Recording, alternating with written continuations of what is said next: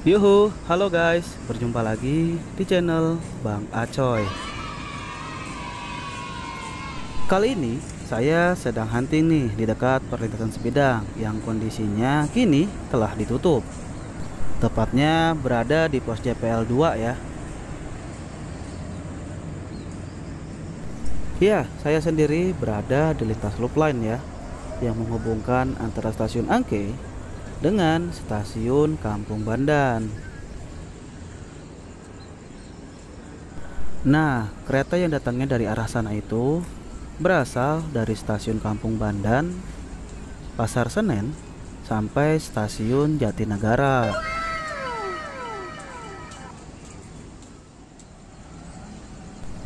Lihat guys, di sana akan ada rangkaian kereta nih yang akan melintas dari arah stasiun Angke menuju stasiun Kampung Bandan. Nah, palang perlintasannya sama bapak-bapak yang jaga di situ sudah ditutup ya guys, biar aman. Jadi saat kereta sedang melintas sudah tidak ada lagi yang menyeberang. Nice.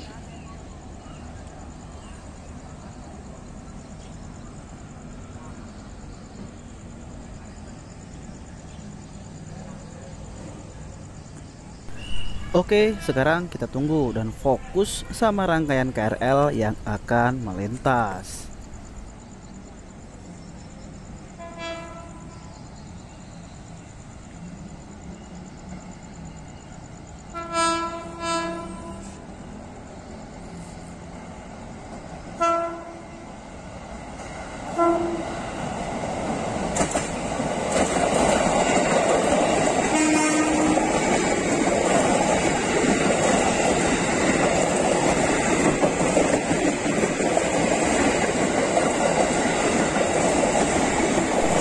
Rangkaian KRL JR20514F dengan stam formasi 12 kereta tanpa kabin tengah dengan kondisi tidak melayani penumpang. Oh iya guys, saya memilih tempat di sini awalnya hanya bertujuan untuk sekedar hunting biasa dan berburu kereta yang berlalu lalang di lintas loop line ini. Namun selain mengambil video kereta, di tempat hunting ini ada sesuatu hal yang menarik dan membuat saya bertanya-tanya. Ya, kalian tentunya bisa melihat di sana terlihat beberapa kendaraan roda dua yang sedang melintas di palang pintu perlintasan yang telah ditutup. Namun oleh warga setempat, palang perlintasan ini dibuka sedikit hanya untuk memudahkan akses warga di sekitarnya agar dapat melintas. Hal yang menjadi menariknya di palang perlintasan di sini adalah beberapa warga yang menjaga di palang ini bisa mengetahui arah datangnya kereta yang akan melintas. Nah, ini nih yang membuat saya bertanya-tanya, dari mana bapak-bapak penjaga palang ini bisa tahu arah datangnya kereta? Mungkin kalau dari arah stasiun Angke, kereta akan tampak terlihat meskipun dari jauh. Dikarenakan jalur perlintasan relnya memiliki trek yang lurus. Lalu bagaimana dengan kereta yang datang dari arah stasiun Kampung Bandan?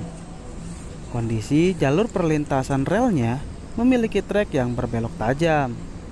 Tentunya akan sulit untuk bisa mengetahuinya. Apalagi harus menebak kedatangan kereta, justru akan semakin berbahaya, bukan? Oke, sekarang kita fokus ke rangkaian KRL-nya yang akan melintas.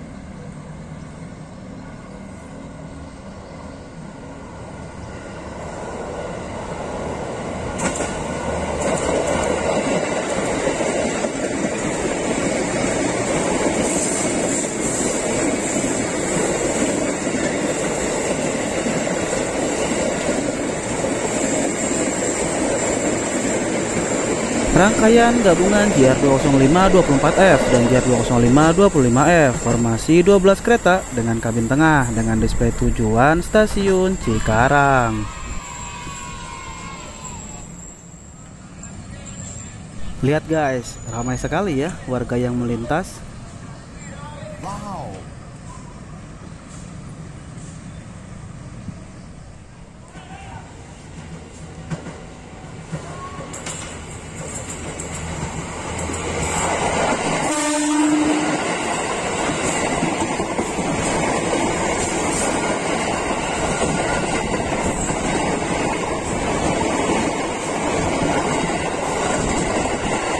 JR205 7F formasi 10 kereta dengan display tujuan stasiun Bekasi.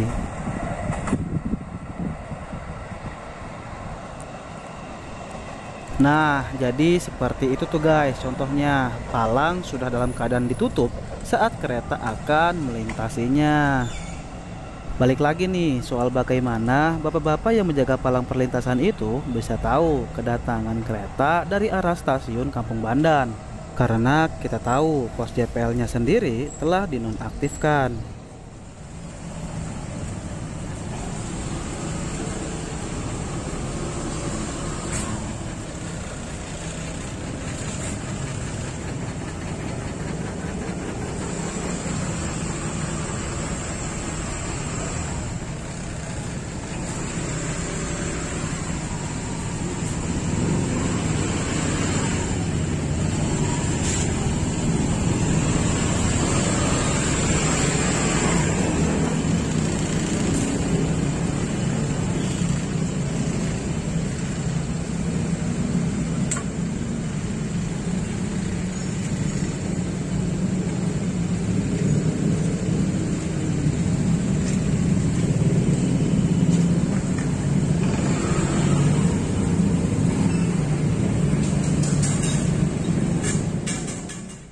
Nah, jadi gini guys. Saya tadi bertanya sama salah satu warga yang menjaga palang tersebut soal bagaimana bapak-bapak ini bisa mengetahui kedatangan kereta api dari arah stasiun Kampung Bandan.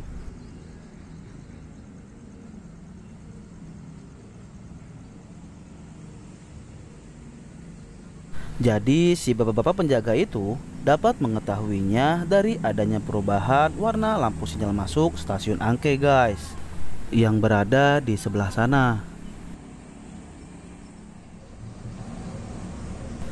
Oke kita tahan dulu ya. Sepertinya akan ada kereta api yang melintas nih. Soalnya palang perlintasannya telah ditutup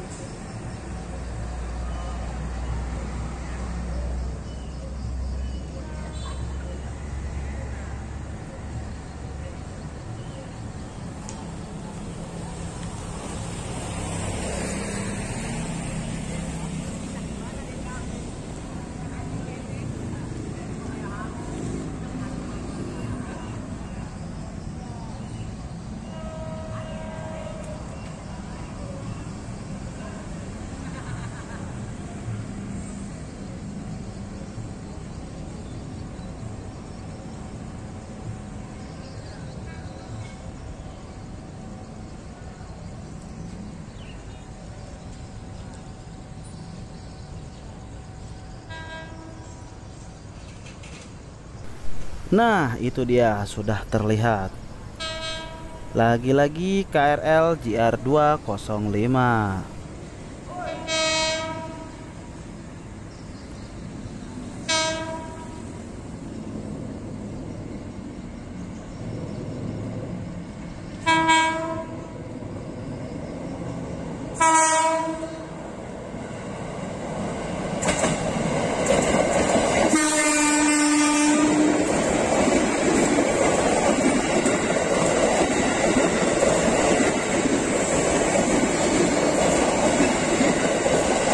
JR 205-103F dengan formasi 12 kereta dengan display LED tujuan stasiun Cikarang.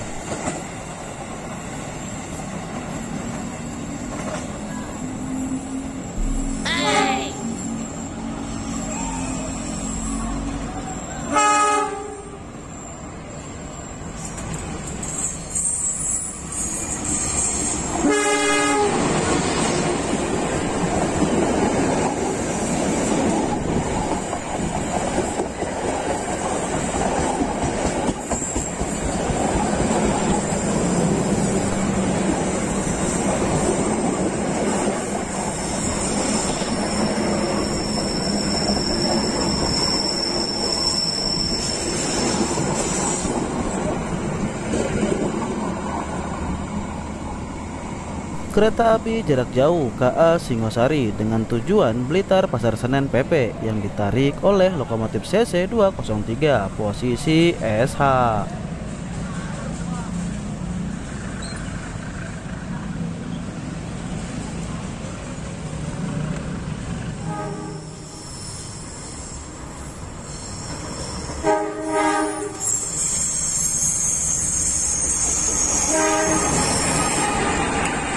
Oke guys, kita akan berpindah posisi dan melihat langsung semboyan sinyal masuk stasiun angkenya ya. Kita akan membuktikan apakah benar cara yang digunakan bapak-bapak ini dalam mengetahui kedatangan kereta berdasarkan sinyal masuk. Eh, kita tunggu dulu nih.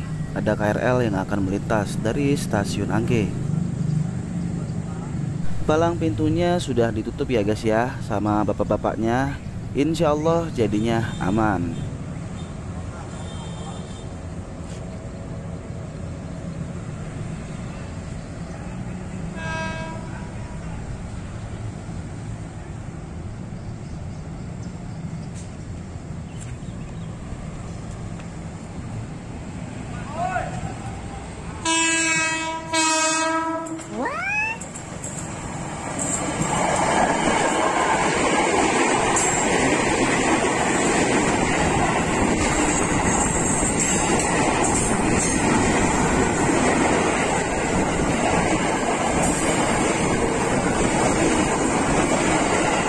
Dua KRL sekaligus coy Wah, JR 20514 f nih. Iya iya iya iya iya. Oke, sekarang kita pindah untuk mencari semboyan lampu sinyal masuk stasiunnya.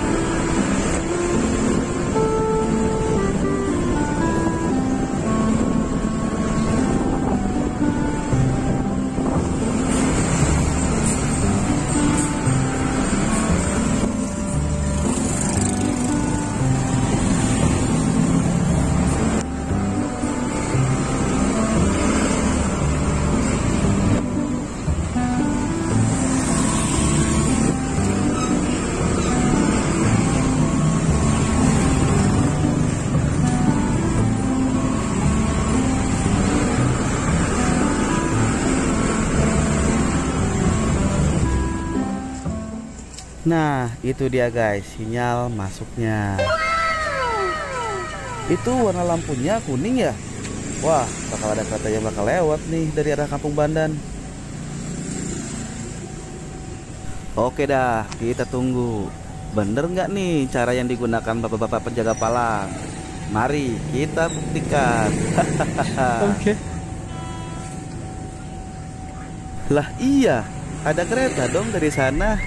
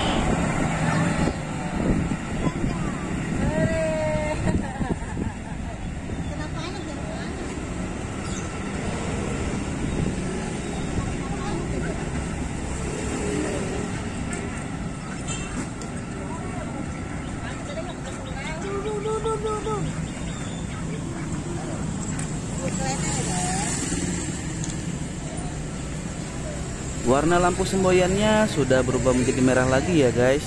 Oke, kayaknya cukup di sini dulu ya guys. Sampai berjumpa lagi di video berikutnya. Oke, terima kasih.